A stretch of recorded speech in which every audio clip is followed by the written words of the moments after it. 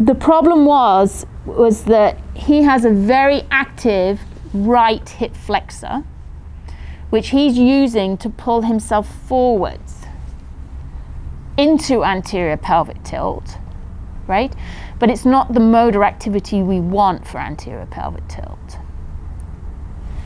So what I had Sarah do was keep the right pelvis stable and bring his left pelvis into a more symmetrical alignment to begin with.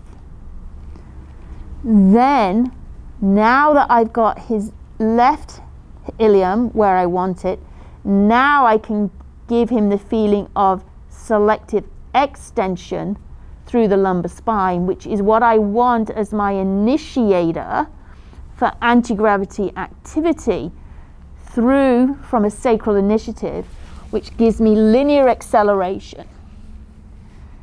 If I don't do that and I allow him to use his hip flexor on the right, I don't know whether you can do this for me. You can try. Use if you use your hip flexor, hang on a minute, a minute. If you use your hip flexor, what that does is it pulls you forwards. It doesn't take you up. So look at her head, right? If I can stabilize anteriorly and I can put in the information to get from a sacral initiative his lumbar sacral extension, she rises. Do you see that? If I don't do that and I allow the patient to just use their strategy, which in this patient was right hip flexion, to get into standing.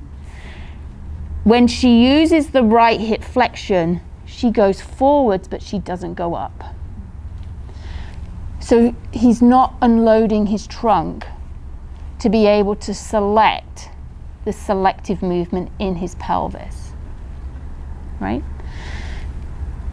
This is a fundamental principle of the Bobath concept. In order for Sarah to select selective lumbar sacral extension, she's got to be stable in her thorax above and she's got to be stable in her femurs below.